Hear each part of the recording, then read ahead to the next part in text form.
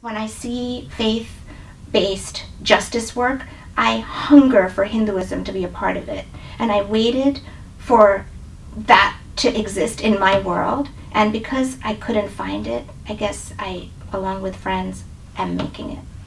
And so sadhana is a verb, it's an action word. And those of us that started sadhana didn't want to talk about the justice we want to see in the world. We wanted to be it, we wanted to do it. And so our name reminds us every day that whatever we are talking about, we want to be creating it, manifesting it, building it in the world.